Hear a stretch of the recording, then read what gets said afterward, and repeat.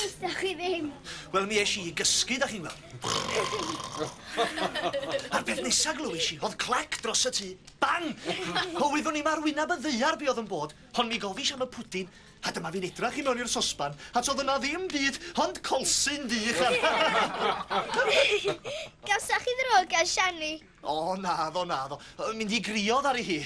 Ddari'r pwdin o'r sbanc allan o'r sinfe, Bang! O, naddo, naddo. Wel, do, siwr. Bang! Bang! Bang! Dafydd Swan!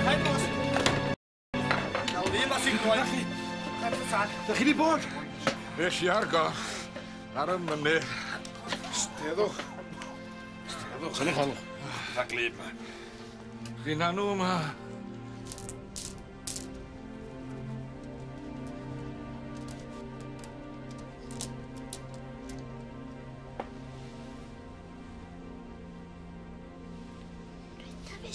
i blino'n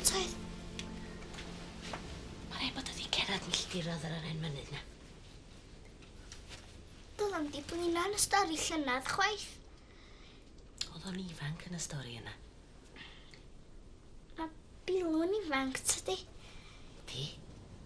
A Sionyn a Winnie a chdi. Di'ch straeon chi ma'n megis dechrau.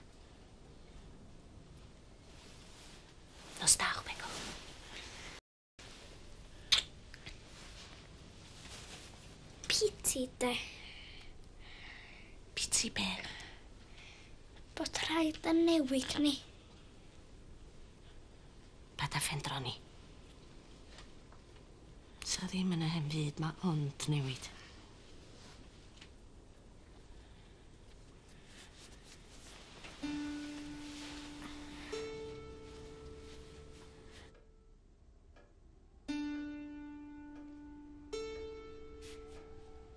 gyson stormus fel gyno efyd, a phod man yn dywych fel bol e ddim.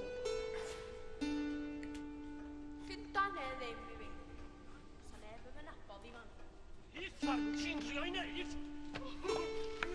Mr. Professor, nes this ridiculous. Oh,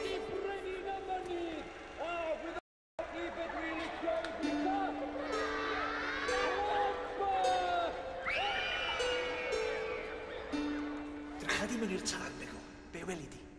Y grib, Micha, hanos yn mynd dros y mynydd Greg, ac un nefoedd,